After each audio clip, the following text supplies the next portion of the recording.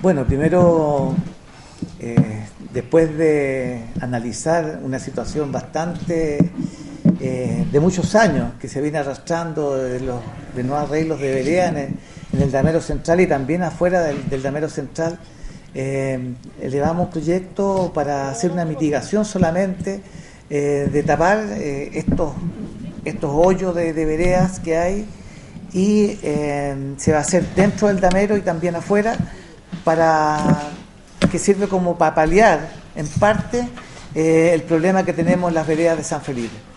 Esto, paralelo a esto, se está haciendo un proyecto definitivo de las veredas eh, que vamos a embaldosar el damero central con un proyecto que está, eh, lo tiene en este momento CEPLA, que es un proyecto muy ambicioso de que va a ponernos una nueva cara en el damero central eh, de la comuna de San Felipe.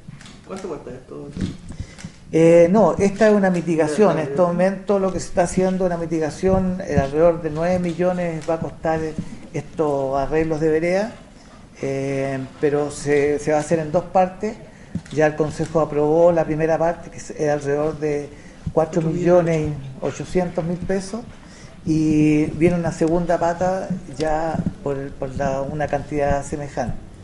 Así que esperamos contar con estos eh, arreglos lo más pronto posible. ¿Ya se hizo un catastro de todos los puntos que se han Correcto, se, está, se hizo un catastro viendo todos los, los, puntos más, más importantes.